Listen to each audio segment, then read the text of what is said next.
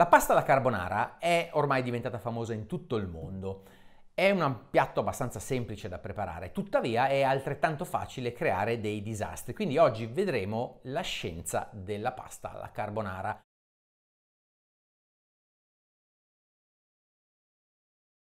Ciao a tutti e bentornati sul canale del vostro amichevole chimico di quartiere. Eh, mesi fa eh, ho pubblicato un video sul limoncello scientifico e ha avuto molto molto successo e quindi ho pensato di proporvi un'altra ricetta scientifica, in questo caso la carbonara scientifica.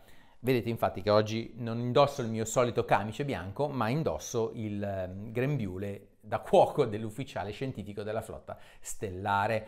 Eh, molti di voi probabilmente sanno che io da un sacco di tempo analizzo scientificamente delle ricette in particolare sul mio blog nel lontano 2008, quindi più di dieci anni fa, ho analizzato scientificamente la carbonara scientifica e quindi ho pensato di riproporvela. Vi metto il link qui sotto in descrizione del blog se volete leggere l'articolo, eh, trovate anche la, la caccia e pepe scientifica se vi interessa e tante altre cose. Questo video eh, è fatto in collaborazione con Jacopo Saquegno, per cui sarà parzialmente disegnato, quindi fatemi sapere poi sotto nei commenti se l'idea vi è piaciuta. Metto subito le mani avanti e vi dico che questa è una delle infinite varianti o versioni della carbonara e voi probabilmente usate degli ingredienti diversi, delle proporzioni diverse, delle procedure diverse. Tuttavia, i principi scientifici valgono per qualsiasi variante voi vogliate fare, quindi questo video credo che vi sarà comunque utile anche per ottimizzare la vostra carbonara. Quali sono queste varianti? Beh, ci sono varianti innumerevoli, per esempio sugli ingredienti. Tradizionalmente si fa con la pasta lunga, io per esempio la faccio di solito con i bucatini, però anche con la pasta corta secondo me ha un suo perché, ho provato a farla e va eh, benissimo. Eh, c'è chi usa il pecorino rigorosamente perché dice che è tradizione e chi invece preferisce il parmigiano. Fatelo come volete, eh, secondo me mm, ci sono differenze ma sono buone entrambe. C'è per esempio chi dice che bisogna usare assolutamente il guanciale perché è tradizione. Le cose in realtà sono un po' più complicate, ma la storia della carbonara la vedremo in un altro video, magari se vi interessa. Eh, chi invece usa per esempio della pancetta, quindi anche qui fate come volete, non entro nella discussione. C'è chi usa, eh, come me per esempio, solo i tuorli, io uso solo tuorli, eh, c'è chi usa invece anche l'albume o come ehm, uovo intero oppure con una certa proporzione tra tuorli e albumi. Anche qui fate come volete, secondo me con il tuorli eh, ha un gusto più pieno, ecco. Però fate anche qui mm, come, come volete. C'è solo una cosa su cui io non, diciamo, transigo nella carbonara, che è la panna.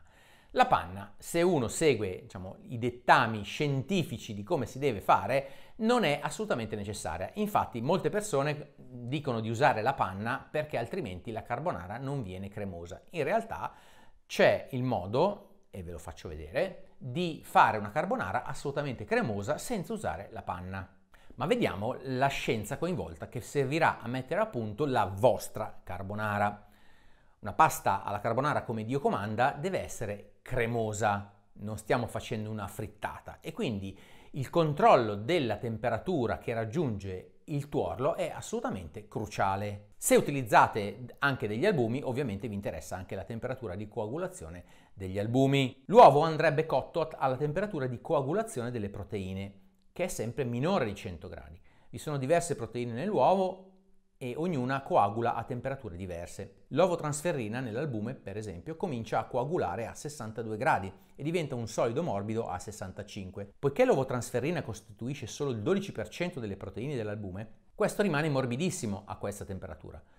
Il tuorlo invece comincia a inspessire proprio a 65 gradi per diventare solido eh, e progressivamente sempre più farinoso dai 68 gradi in poi. Avete presente l'uovo sodo? Ecco, non volete avere questa consistenza nella vostra carbonara. Quindi la pasta alla carbonara, quando aggiungete l'uovo, deve avere una temperatura tra i 65 gradi e i 70 gradi. Come possiamo fare? Beh, c'è una soluzione semplice e una un po' più, diciamo, tecnica che però richiede l'uso di un termometro che purtroppo ancora molte persone non hanno. In realtà un termometro da cucina a casa ormai costa pochissimo ed è fondamentale se non volete eh, avere un arrosto stoppaccioso o un roast beef che invece di essere dentro rosa come dovrebbe è diventato grigio o marrone. Quindi fatevi un favore se volete cucinare in modo insomma, efficace e scientifico e ah, compratevi, investite 10 euro eh, per un termometro digitale.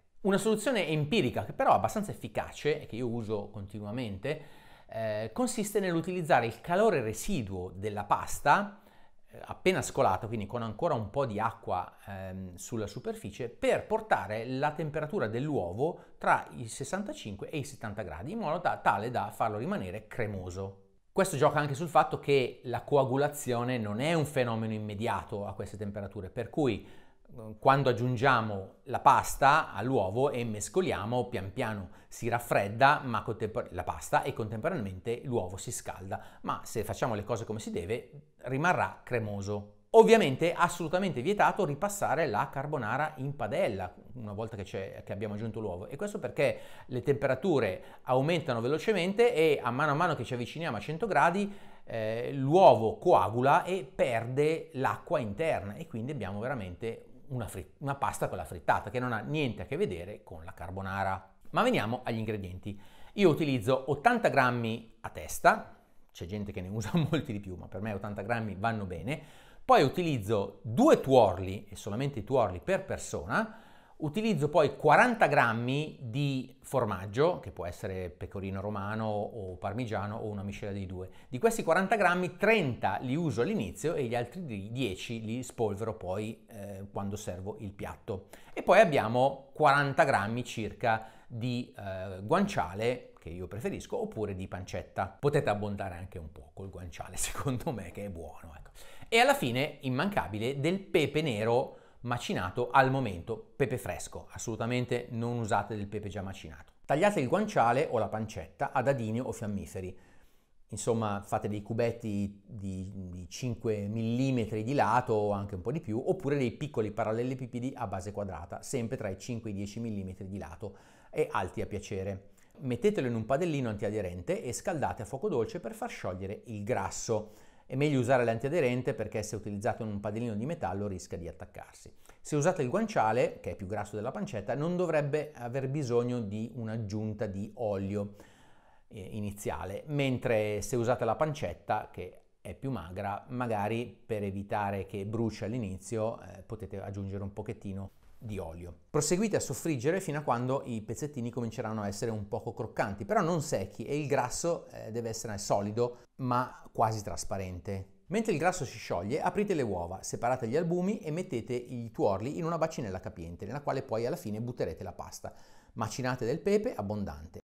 Gli albumi li potete congelare e riutilizzare per fare delle meringhe o altri dolci, si congelano benissimo. Io li metto in, ehm, nei contenitori del ghiaccio, per cui ho delle monoporzioni di albume che poi alla fine tolgo e utilizzo da aggiungere a una frittato per fare dei dolci. Sbattete leggermente le uova e aggiungete il formaggio grattugiato. Eh, mescolate per amalgamare bene e se vi viene quasi solida probabilmente avete aggiunto tanto formaggio o i tuorli erano piccoli, ma non vi preoccupate perché poi dopo andrete ad aggiungere ancora la pasta con un po' di acqua per cui si stempererà. Cuocete la pasta in abbondante acqua, non troppo salata, perché c'è già il pecorino e il formaggio che sono salati. La pasta va tenuta al dente. C'è chi una volta scolata la pasta molto al dente la passa un minuto o due nella padella dove ha fatto sciogliere il guanciale o la pancetta. Io preferisco non farlo perché se la pasta si ricopre di olio o di grasso, poi l'uovo avrà più difficoltà ad aderire alla superficie della pasta. Quindi io questa cosa preferisco non farla. Prima di scolarla prelevate con un mestolo un mezzo bicchiere di acqua di cottura e tenetelo da parte perché questo vi potrà servire nel caso quando avete aggiunto la, la vostra pasta alla ciotola eh, sarà ancora l'uovo troppo duro perché magari erano, le tuorli erano troppo piccoli. Ora c'è il punto cruciale.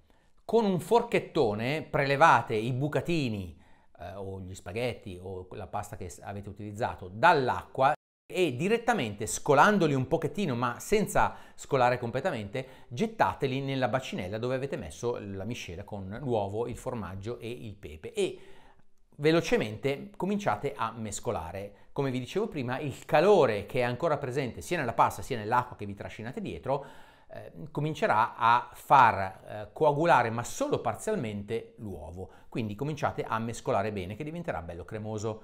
Come vi dicevo prima, nel caso sia tutto molto molto asciutto, allora potete aggiungere pochissima di quell'acqua che avete salvato precedentemente, ma state attenti perché altrimenti vi viene una roba troppo liquida. Ovviamente se invece di usare solo il tuorlo avete usato anche eh, un uovo intero o gli albumi, beh a questo punto l'aggiunta dell'acqua è assolutamente superflua. Se avete utilizzato della pasta corta, ovviamente non potete prenderla con un forchettone, prendetela con uno scolapasta, eh, però fate attenzione a non scolarla completamente e quindi aggiungetela alla, alla bacinella. Mescolate velocemente, a questo punto potete aggiungere il guanciale o la pancetta insieme a almeno una parte del suo grasso, insomma la, la, carbonara non è proprio un piatto salutista, ecco, quindi insomma fate attenzione un po' perché c'è il formaggio, c'è l'uovo, eh, anche il grasso, eh, io cerco di eliminarlo la, la, la, maggior parte, però insomma molti lasciano e utilizzano anche tutto il grasso che ha perso la pancetta o il guanciale. Finite di mescolare bene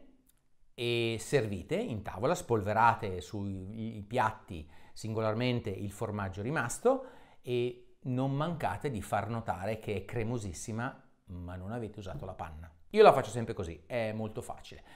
Però se non siete sicuri oppure se state preparando la pasta per so, 8 o più persone e quindi temete di non riuscire da soli a mescolare e fare tutto il, il magheggio, beh allora a questo punto potete preparare eh, in una bacinella a questo punto di metallo perché la dovete scaldare a bagnomaria e con un termometro mentre mescolate il formaggio e il tuorlo eh, portatelo a 62-63 gradi e quindi a questo punto il tuorlo è già in temperatura e quando aggiungerete la pasta eh, finirete di preparare la carbonara. Mi raccomando, ancora una volta, non ripassatela in padella. L'altro ingrediente della carbonara che ha qualche curiosità scientifica è il pepe. La sostanza che rende pizzicante eh, il pepe è la piperina, che è un alcaloide. Gli alcaloidi sono una famiglia di molecole naturali che troviamo in tantissime piante che hanno normalmente un effetto fisiologico, appartengono alla categoria eh, degli alcaloidi, non so, la, la, nicotina, la morfina, la caffeina, ecco, ci sono tantissime di queste sostanze che hanno un effetto fisiologico. L'effetto fisiologico della piperina è quello di avere, dare questa sensazione di pizzicore in bocca. Attenzione però che è diversa dalla sensazione che abbiamo per esempio quando mangiamo il, ehm, il, peperoncino. Il peperoncino contiene la capsaicina che ha un meccanismo d'azione diverso. La capsaicina inganna i sensori della temperatura nel nostro corpo, nel, nella nostra bocca e fa credere che la temperatura sia molto più alta di quella che è in realtà e quindi manda un segnale al cervello dicendo oi guarda che qui abbiamo superato i 40, i 50 gradi e quindi noi crediamo e di fatto lo, lo sentiamo che ci sia una temperatura molto più elevata rispetto a quella che veramente è. In realtà invece la piperina agisce con un meccanismo abbastanza diverso. La piperina eh, agisce sul nervo trigemino, quindi di fatto avete presente quando avete il mal di denti, ecco quindi di fatto causa una irritazione blanda, eh, locale, che irrita il nervo trigemino che manda quindi poi i segnali al, al nostro cervello. Il motivo per cui il pepe va macinato al momento è che le sostanze anche le sostanze aromatiche, perché il pepe non ha solo la piperina, eh, si ossidano abbastanza facilmente, per cui eh, macinare al momento il pepe come eh, tante altre spezie è una cosa che può migliorare di sicuro la qualità. Con questo abbiamo finito, spero che vi sia piaciuto questo esperimento un po' in video e un po' disegnato, eh, grazie a, al mio amico Jacopo Saquegno. Fateci sapere se vi è piaciuto l'esperimento e un saluto dal vostro amichevole chimico di quartiere, oggi in versione cuoco della flotta stellare. Ciao!